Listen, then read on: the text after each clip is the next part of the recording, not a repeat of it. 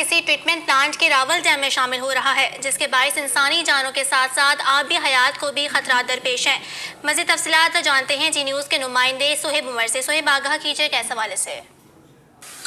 جی بالکل، اس ٹائم میں بنی گالا پہ موجود ہوں۔ یہاں بنی گالا کے گرد و نواح سے گزرتا ہوا کورنگ نالا راول ڈیم میں جا کے گرتا ہے۔ لیکن آپ کو بتاتا چلوں کہ جو بنی گالا کے رہائشی علاقے ہیں، ان کا تمام کا جو فضلہ ہے، جو گند ہے، وہ اس کورنگ نالا میں شامل ہو جاتا ہے۔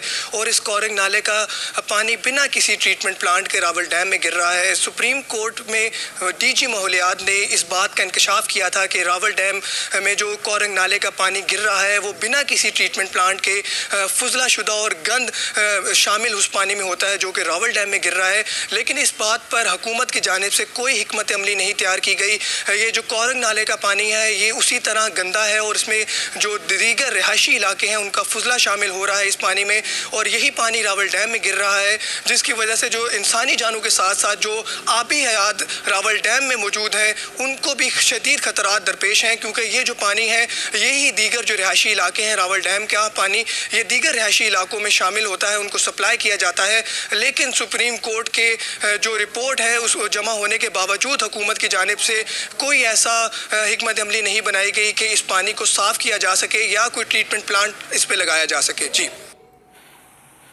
اور اب آپ کو بتائیں کہ امریکی سر